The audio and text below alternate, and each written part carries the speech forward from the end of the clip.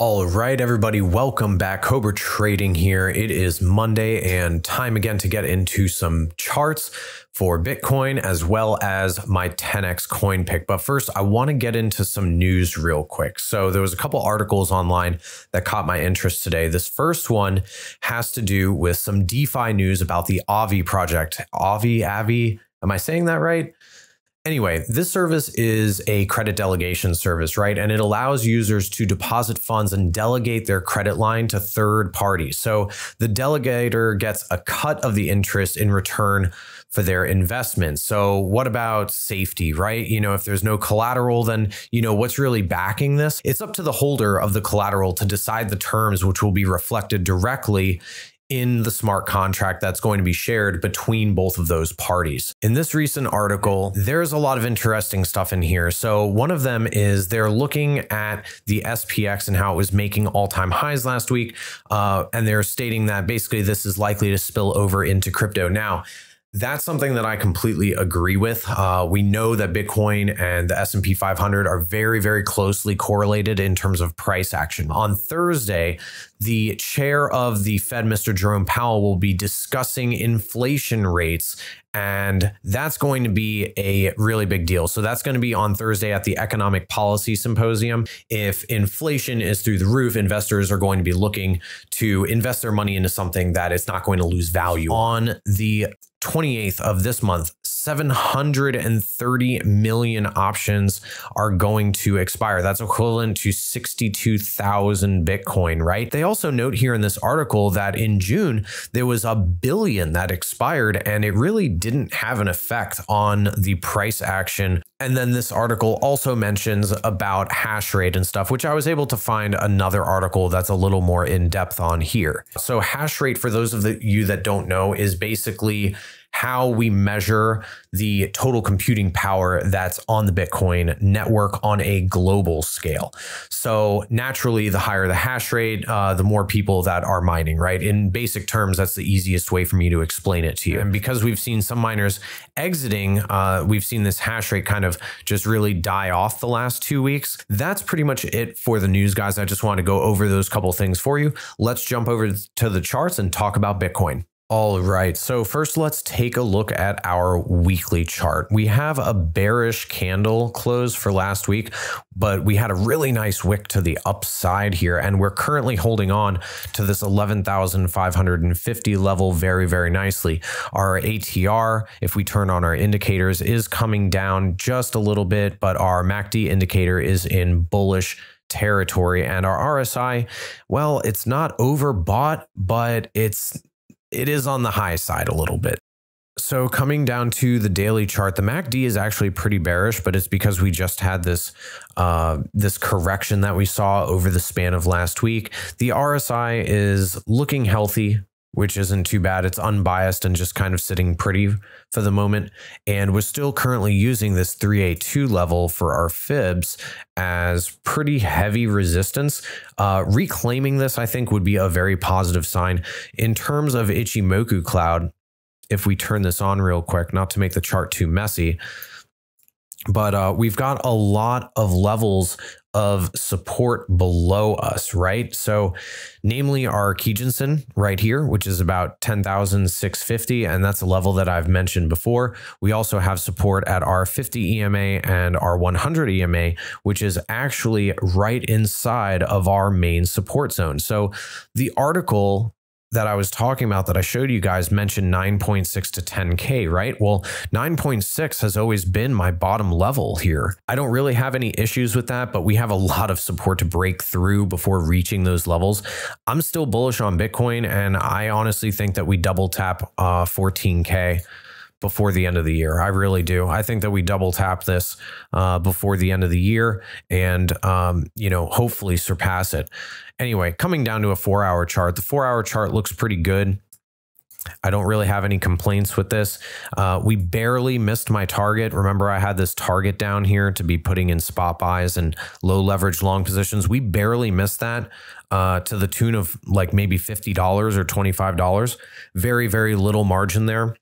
That it was missed by. So it's looking good. We're inside the cloud right now. So unless we start seeing some four hour closes above this level here, at about 11,865 or 875 or so, um, probably going to be staying flat. Trading in the cloud in terms of Ichimoku rules is definitely never recommended. So I'm not going to be willing to test my luck on that with a major size uh, or position right now. All right, so last thing, real quick, just before we get into my 10x coin pick, this is kind of my thing. I really like going over this, and I think it's extremely useful for being able to figure out where the price might be gravitating towards based on where those liquidities are because of over leveraged positions on BitMEX. So uh, below us, we do have a 100x short for about 12 million contracts. That is right at 11,685. And then above us, where all of the short liquidations are, not too much. We don't have any 100x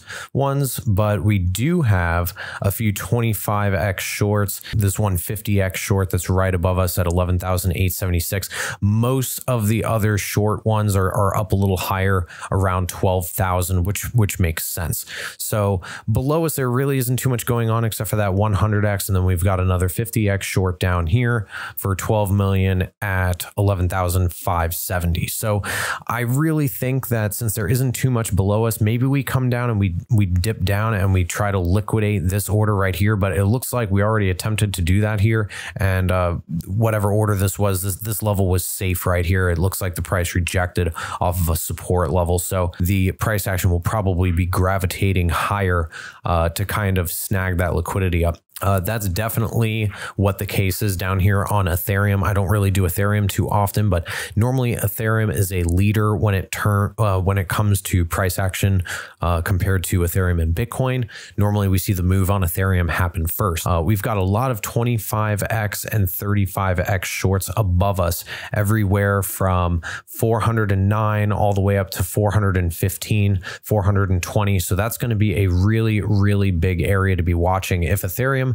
Does end up moving higher and rallies, and we get a continuation of this move that we've had today, I definitely expect a big liquidity grab, and that would probably end up propelling not only Ethereum higher, but Bitcoin as well. Also, in the comments below, let me know some of your expectations for some of my upcoming videos. I know that I promised you guys a stop loss video on ATR, but let me know what else you guys would like to see on the channel and from my videos in general. I really appreciate the feedback. So if we switch on over to NWC, my 10x coin pick, right?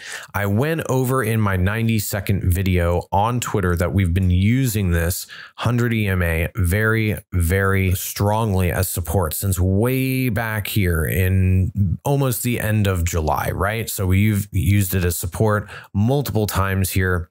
And honestly, so far, we're making consistently higher highs on this, staying true to the fractal so far. I mean, this is looking very good. We're making our way up and everything. I'm going to leave this fractal here uh, for as long as I can so that we can track the price action of where I placed it. Overall, uh, in the midterm, definitely my target is between 32 and 35 cents up here where I have this box. I think if we break out of this little zone that we're in, that it's definitely going to go another 50% from here, which is about 32 to 30 35 cents. I'm very, very bullish on this project and especially the team that's backing it. Uh, looking at our indicators, everything looks primed for another pump, in my opinion. Our MACD is looking bullish. The RSI is sitting pretty right in the middle, and the price action has been very, very steady all through here. So it's actually looking pretty good. We've had this really nice area of bullish accumulation this last week. So if we look closer onto the one hour chart, and turn on some of our Ichimoku. So Ichimoku looks a little bit like a mess right here on the one hour chart. It looks like we just broke above our EMAs as well as our Tenkan-sen line. So I expect I expect maybe a small retest over here in these levels, like, you know, maybe like at the 20 cents level or 20.015 or something, um, and use that before we end up making a move higher. The four hour Ichimoku cloud, we're above uh, the Tenkan-sen and the Kijun-sen, uh, they're directly below us, forming very solid areas of support here. Literally every single time that we test that EMA line, we see a major, major move of buying. So, you know, every single time that we test this line, we just see a major price move, right? So we test it here, major price move, tested it here, major price move. Down here, we had this really bullish uh, ascending triangle. Once we broke out of that, we retested it quickly and then we moved way higher, making higher highs. On our lower time frame, we had another ascending triangle up here. We broke out of it, retested it. We made a double top up here at 22 cents, retested it one more time. And ever since then, we've been using this EMA retest support zone right here at about 16 cents. We've been using that as very, very heavy support all through here. I really don't see the price action moving too far below there. It's looking like 20 the 20 cent level is pretty much going to be our new base of operations here. I think once we start seeing uh, like a weekly close, especially above, uh, you know, like 21, 22 cents, which I think is going to happen pretty shortly. Uh, 20 cents is definitely going to be our new, our new standard base for this coin. And then we're going to be moving up into that 32 or 35 cent zone that I've got marked up here. So I definitely expect something like this to be playing out.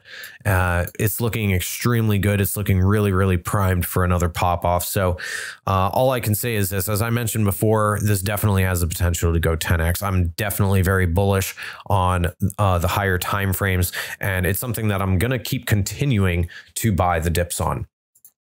So with all of that said, guys, I really appreciate you tuning in for another analysis video. Let me know down in the comments below how you enjoyed the video and make sure that you're liked and subscribed to the channel and following me on Twitter for all of those 90 second updates videos. Those are exclusive to Twitter. I do not release those on YouTube because they are too short. So if you're short on time, that's definitely a good way to get your quick analysis.